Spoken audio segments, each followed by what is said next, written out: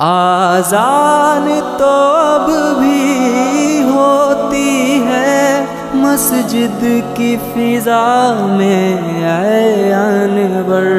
कल हम मस्जिद जाते ही न थे, अब रब ने बुलाना छोड़ दिया।